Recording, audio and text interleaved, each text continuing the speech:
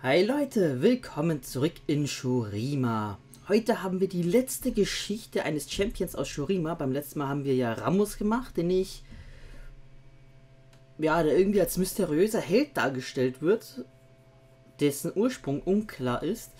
Ähm, heute äh, lesen wir Thalia, der neue, äh, die neue Championess. Und da bin ich schon sehr, sehr gespannt, wie das ist. Ich, ich dachte eigentlich, vor allem weil Shurima ja die Geschichte neu gemacht wurde, denke ich, dass Thalia wieder so ein äh, besonderer Champion ist, für den sie sich, mehr für den sich Riot Games Mühe gemacht hat. Da bin ich jetzt wirklich sehr gespannt, wie da die Geschichte ist. Vor allem, was mich, was ich bei Thalia mag, diesen Einlog-Bildschirm bei League of Legends. Äh, die Musik von Thalia, die hat mir so gefallen. Das ist eine meiner Lieblingsmusikstücke in League of Legends. Naja. Die hat gar kein Zitat. Jetzt ist es da. Thalia, die Felsenweberin. Diese Welt ist wie ein Teppich, den wir selbst weben. Thalia ist eine Ma nomadische Magierin aus Shurima, die Felsen mit energiegeladenem Enthusiasmus und wilder Entschlossenheit webt. Hin und her gerissen zwischen jugendlicher Entdeckungsfreude und dem Verantwortungsbewusstsein einer Erwachsenen hat sie fast ganz Valoran bereist, um die wahre Natur ihrer wachsenden Kräfte zu ergründen. Nun ist sie zurück, da sie Gerüchte über die Rückkehr eines lange tot geglaubten Imperators aufgeschnappt hat und ihren Stamm vor den Gefahren schützen möchte, die unter Shurimas wandelnden Sanden lauern. So mancher hat ihr weiches Herz schon fälschlicherweise für eine Schwäche gehalten – und für diesen Fehler bezahlt. Hinter Thalias jugendlichem Auftreten liegt nämlich ein Wille verborgen, der Berge versetzen kann und ein Temperament, das die Erde erbeben lässt. Thalia wurde in dem steinigen Vorgebirge an der Grenze zu Ikatias verdorbenen Schatten geboren und verbrachte ihre Kindheit bei ihrem Stamm nomadischer Weber mit dem Hüten von Ziegen wohingegen die meisten Außenstehenden Shurima als dunkelgelbes, brachliegendes Ödland sehen, zog ihre Familie sie als wahre Tochter der Wüste auf und lehrte sie, die Schönheit in den intensiven Farben des Landes zu sehen. Thalia war schon immer von dem Fels unter, unter den Dünen fasziniert. Als Kleinkind sammelte sie bunte Steine, während ihr Volk über die Jahreszeiten hinweg dem Wasser folgte.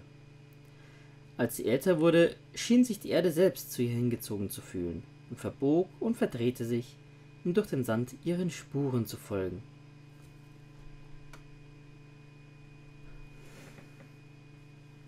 Als sie sechs Hochsommer alt war, entfernte sich Thalia von der Karawane, um ein verirrtes Zicklein zu suchen, das man in ihre Obhut übergeben hatte. Sie war entschlossen, ihren Vater nicht zu enttäuschen, der der Meisterhirte und das Oberhaupt des Stammes war, und verfolgte das junge Tier bis tief in die Nacht hinein. Sie folgte den Hufabdrücken durch einen vertrockneten Flusslauf zu einer Schlucht.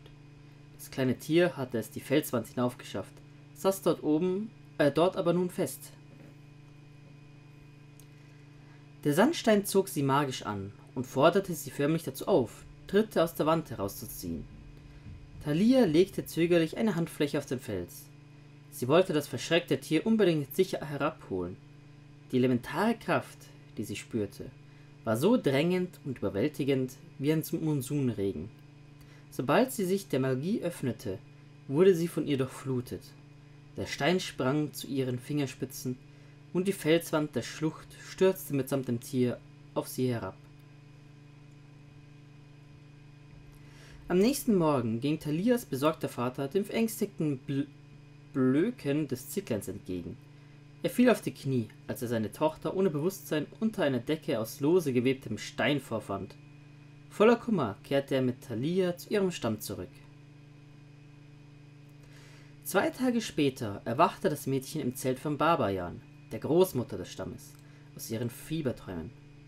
Thalia begann der weisen Frau und ihren besorgten Eltern von der Nacht in der Schlucht zu erzählen und auch davon, wie der Fels sie gerufen hatte. Babajan tröstete die Familie und sagte ihnen, dass die Webmuster des Steins ein Beweis dafür waren, dass die große Weberin, die mythische Beschützerin des Wüstenstammes, über das Mädchen wachte. In diesem Augenblick sah Thalia den Ausdruck tiefer Sorge auf den Gesichtern ihrer Eltern und beschloss, die Wahrheit darüber, was in dieser Nacht geschehen war, für sich zu behalten. Nämlich, dass sie und nicht die große Weberin den Wüstenstein geformt hatte. Wenn die Kinder in Thalias Stamm alt genug waren, tanzten sie unter dem Antlitz des Vollmondes der, der Form, die die große Weberin selbst in der Welt annahm.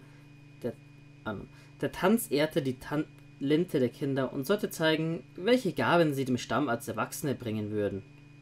Dies war der Anfang ihres Pfades zu wahrem Wissen, denn die Kinder wurden im gleichen Atemzug auch ihren Lehrern zugeteilt. Thalia hielt ihre wachsende Kräfte, wachsenden Kräfte weiter verborgen, da sie sie für gefährlich und nicht für einen Segen hielt. Sie sah ihren Spielkameraden dabei zu, wie sie Wolle spannen, um den Stamm in kalten Wüstennächten warm zu halten. Können mit Scheren und Farben bewiesen oder Muster webten, die die Geschichten ihres Volkes erzählten. In diesen Nächten lag sie noch lange wach, nachdem die Kohle zu Asche herabgebrannt war, und quälte sich mit dem Gedanken an die Kraft, die sich in ihrem Innern regte. Schließlich kam die Zeit für Thalias Tanz unter dem Vollmond. Sie hatte zwar genug Talent dafür, ein fähiger Hirte zu werden, wie ihr Vater oder eine Webmeisterin wie ihre Mutter, doch das junge Mädchen fürchtete sich vor dem, was ihr Tanz enthüllen würde. Als Thalia ihren Platz auf dem Sand einnahm, war sie umgeben von Handwerkzeug ihres Volkes, dem Hirtenstab, der Spindel und dem Webstuhl. Sie versuchte sich auf die Aufgaben, Aufgabe vor ihr zu konzentrieren, doch es waren die weit entfernten Felsen und die vielschichtigen Farben des Landes, die sie magisch anzogen. Thalia schloss die Augen und tanzte. Die Kraft, die sie erfüllte, war so überwältigend, dass sie nicht den Faden spann, sondern die Erde unter ihren Füßen. Die überraschten Rufe von ihrem Stamm rissen sie aus ihrer Trance. Eine imposante Säule aus gewebtem Stein ragte im Licht des Mondes hoch hinauf. Thalia blickte in die schockierten Gesichter der Menschen um sie herum. Sie verlor die Beherrschung über den Stein, und das gewebte Steinwerk fiel in sich zusammen. Thalias Mutter rannte zu ihrer einzigen Tochter, um sie vor dem herabstürzenden Stein zu beschützen. Als der Staub sich schließlich legte, sah Thalia die Zerstörung, die sie gewebt hatte, und die beunruhigten Gesichter ihres Stammes. Doch es war der kleine Schnitt im Gesicht ihrer Mutter, der Thalias schlimmste Befürchtungen rechtfertigte. Die Verletzung war zwar nicht der Rede wert, doch Thalia wurde klar, dass sie für die Menschen eine Bedrohung darstellte, die sie in dieser Welt am meisten liebte. Sie rannte in die Nacht davon, und der Boden unter ihren Füßen bebte ob der, Zwe ob der Verzweiflung, die wie ein schwerer Klotz an ihr hing. Wieder war es ihr Vater, der sie in der Wüste fand. Die aufgehende Sonne tauchte sie beide in sanftes Licht, als ihm ihr Geheimnis schluchzend gestand. Er tat das Einzige, was sein Vater in dieser Situation tun könnte, konnte. Er nahm seine Tochter fest in den Arm. Er sagte ihr, dass sie nicht vor ihren Kräften davonlaufen konnte und dass sie ihren Tanz zu Ende bringen musste, um zu sehen, wo ihr Weg sie hinführen würde. Der Gabe der großen Weberin den Rücken zuzukehren, war die einzige Gefahr, die sein Herz und das ihrer Mutter brechen würde. Thalia kehrte mit ihrem Vater zu ihrem Stamm zurück. Sie trat mit offenen Augen in den Tanzkreis. Diesmal webte sie einen, ein neues steinernes Band, und jede Farbe und Struktur entsprang einer Erinnerung an die Menschen, die sie umgaben. Als sie zum Ende kam, saß ihr Stamm voller Ehrfurcht da. Thalia wartete nervös. Nun würde ein Mitglied ihres Stammes aufstehen und sie als Schülerin annehmen. Die Zeit dehnte sich unendlich lange aus, während das Blut in Thalias Ohren pochte. Sie hörte, wie der Schotter knirschte, als ihr Vater aufstand. Neben ihm erhob sich ihre Mutter. Babajan, die Färbermeisterin und der Meisterspinner standen ebenfalls auf. Nach kurzer Zeit war der gesamte Stamm auf den Beinen. Alle wollten sie das Mädchen unterstützen, das Stein weben konnte.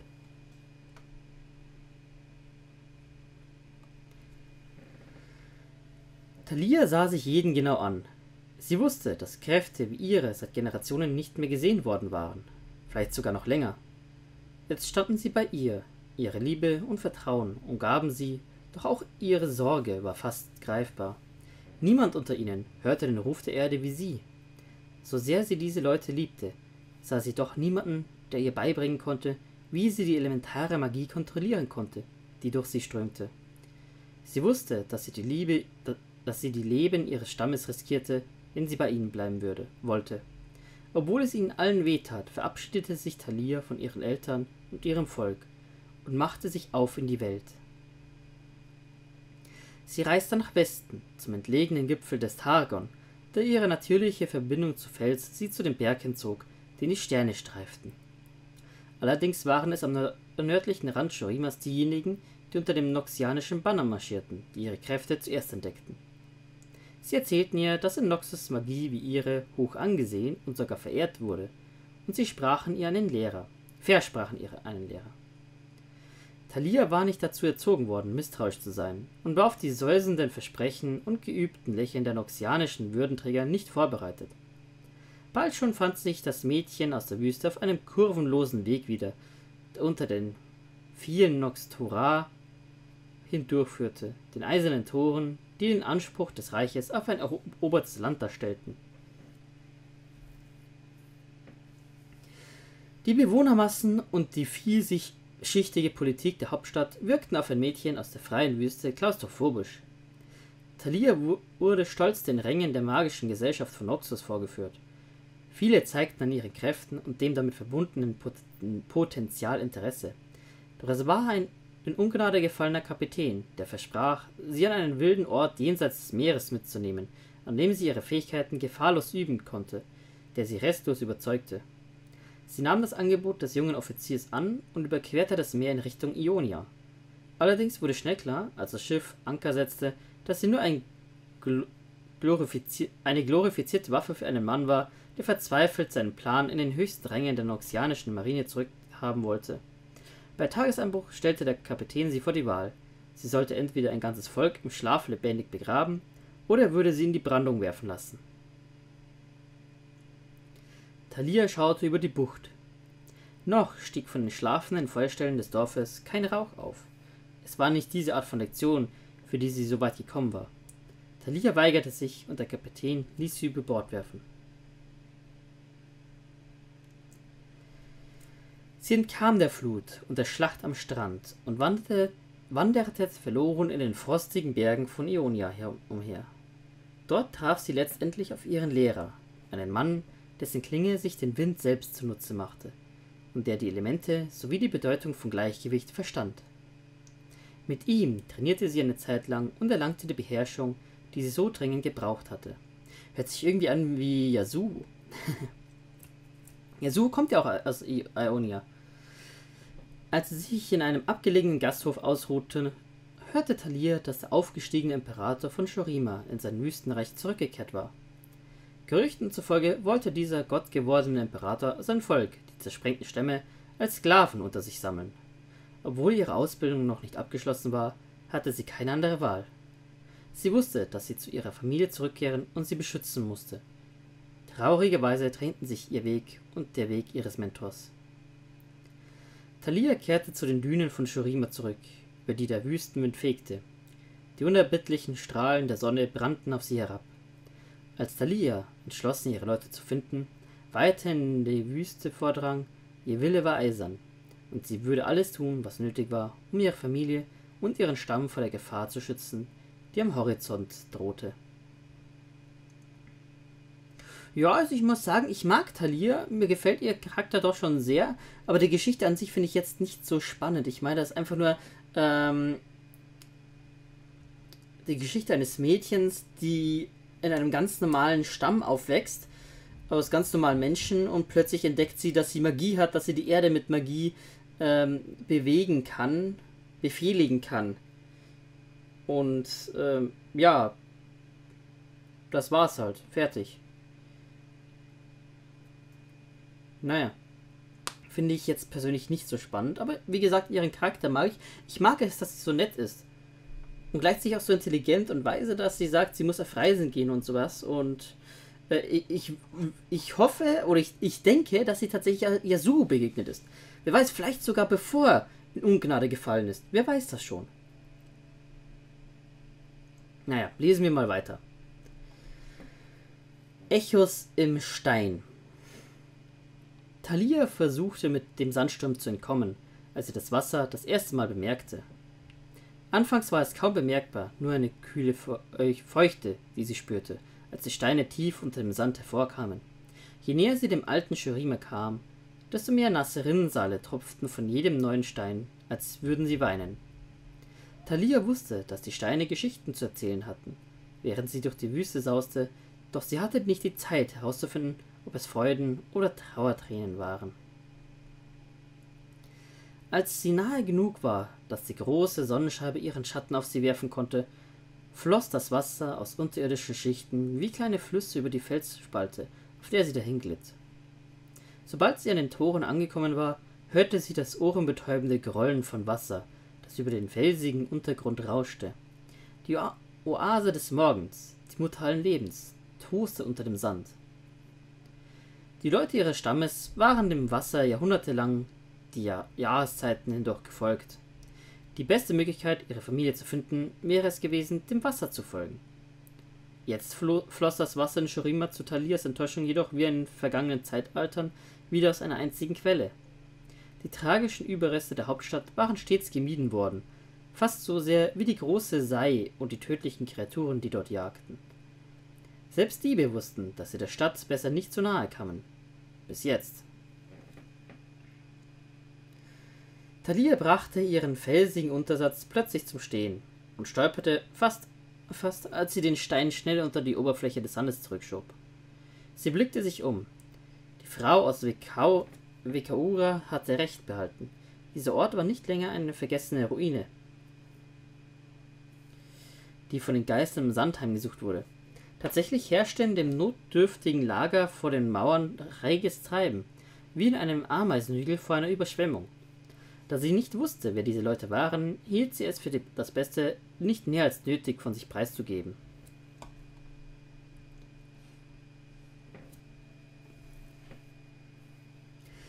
Anscheinend waren Stämme aus allen vier Ecken ihrer Heimat vertreten. Doch als Lia die vielen Gesichter näher betrachtete, fiel ihr kein Bekanntes auf. Die Leute hier waren uneins. Sie stritten sich darüber, ob sie ihren vorübergehenden Lagern bleib in ihren vorübergehenden Lagern bleiben oder in, die Stadt, in der Stadt Schutz suchen sollten. Einige befürchteten, dass die Stadt so schnell wieder einfallen würde, wie sie sich erhoben hatte, und alle unter sich begraben würde.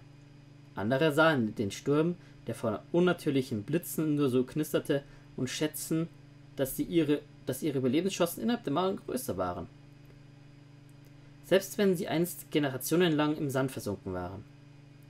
Sie bewegten sich alle sehr rasch, packten willkürlich Sachen zusammen und schielten besorgt zum Himmel hinauf.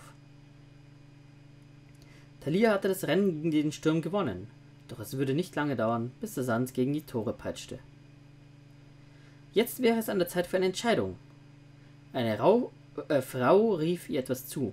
Ihre Stimme ging im Rauschen des Wassers der Oase und dem sich erhebenden Sturm fast unter. Gehst du hinein oder gehst du fort, Mädchen? Thalia wandte sich der Frau zu.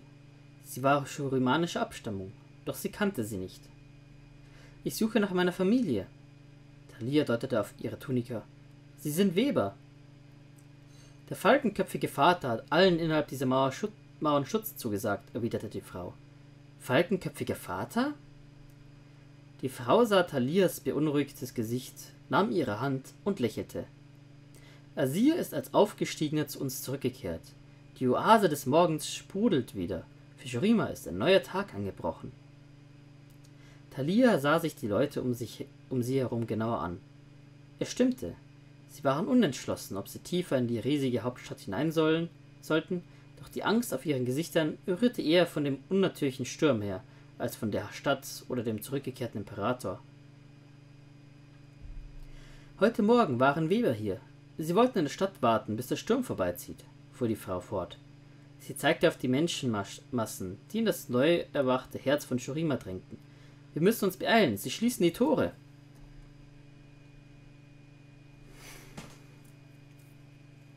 Die Frau zerrte Thalia auf eines der großen Tore der Hauptstadt zu. Hinter ihnen drückte sie eine Gruppe Fremder vor sich her, die sich in letzter Minute dagegen entschlossen hatten, es alleine mit dem Sand aufzunehmen. Ein paar vereinzelte Grüppchen hielten sich an ihre Tiere und waren fest entschlossen, den Sturm zu überdauern, wie es schurimanische Karawanen seit Generationen getan hatten. In einiger Entfernung knisterten seltsame und bedrohliche Blitze am Rande des Wirbelsturms. Alte shurimanische Traditionen waren vielleicht nicht genug, um den Sturm zu überleben. Thalia und die Frau wurden über die goldene Schwelle gedrückt, die Shurima von der Wüste um sie herum trennte. Die schweren Tore schwangen mit einem hallenden Dröhnen hinter ihnen zu, und die schiere Gro Größe von Shurimas alte Pracht erstreckte sich vor ihnen.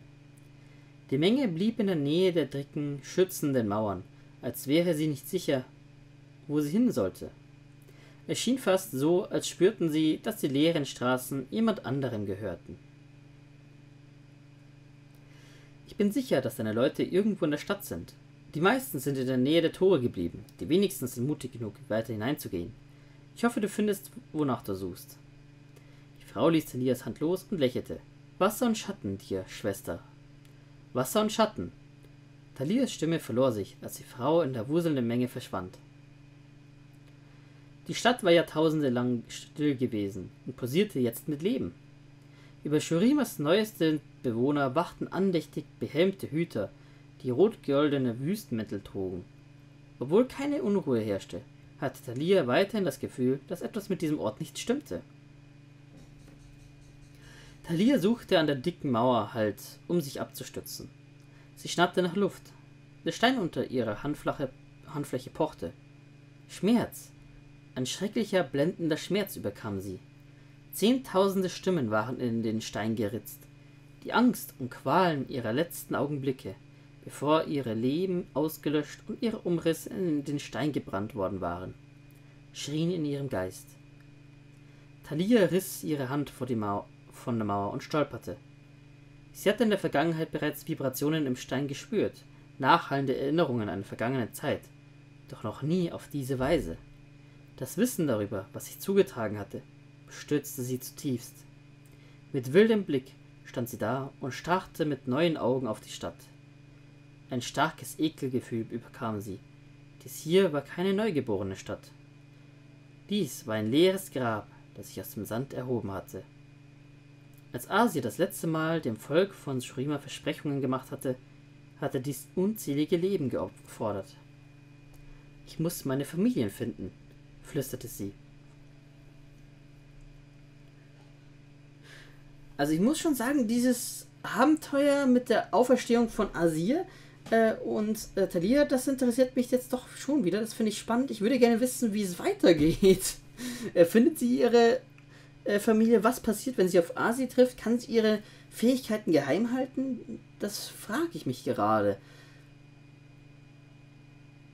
Und es wäre wirklich interessant. Also ich, ich hoffe, dass Riot Games die Geschichte um Talia irgend und Asi natürlich auch irgendwann mal ein bisschen weiterspinnt. Wäre sehr, sehr schön. Vielleicht wieder im Zuge eines Events, keine Ahnung. Aber ich würde mich freuen. Nun gut, damit hätten wir jetzt alle Champions durch, aber wir sind noch nicht fertig mit der Geschichte. Denn die Blutlinie ist ja mittlerweile auch aktiv. Und die werden wir uns beim nächsten Mal ansehen. Ob das jetzt tatsächlich nur eine Blutlinie ist und keine Geschichte dazu, das ich weiß, ich weiß nicht, ich habe da noch nicht drauf geklickt. Ähm, ich lasse mich da überraschen. Ähm, wenn es halt keine Geschichte ist, sondern wirklich nur Blutlinie irgendwie, wer von wem abstammt, dann diskutiere ich das vielleicht ein bisschen, dauert das Video nur 5 bis 10 Minuten, keine Ahnung. Ich weiß es nicht, aber es wird definitiv ein eigenes Video.